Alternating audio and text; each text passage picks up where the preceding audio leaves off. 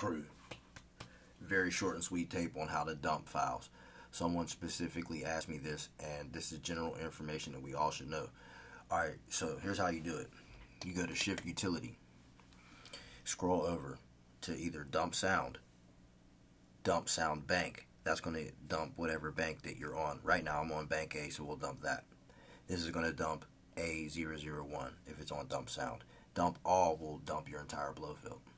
So what you're to do is you're to pull up MIDI-OX. And all right, I'm to I need a scratch pad, so I'll just drag any sound in there to to go, okay?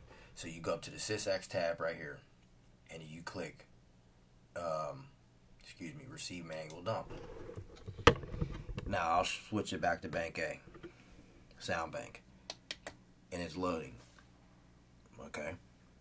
Now once this bar is full and it's done, you're going to go to the command window on the SysEx scratch pad and then save as, and then in this case it will be bank A. So we'll wait for a second.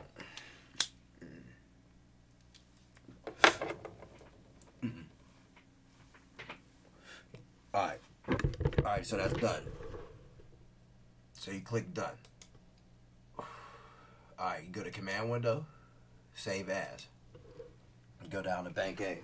So we'll save bank A.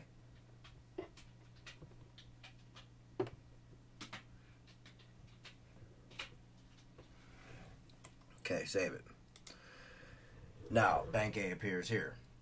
So you take that bank A when you want to recall it.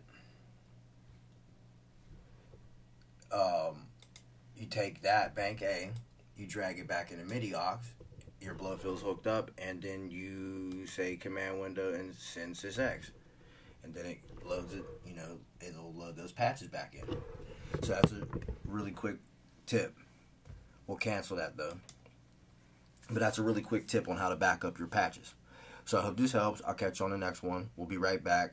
We'll let the box do the talking. We got some interesting stuff to bring to the table as always. I love you guys. I'll catch you on the next one.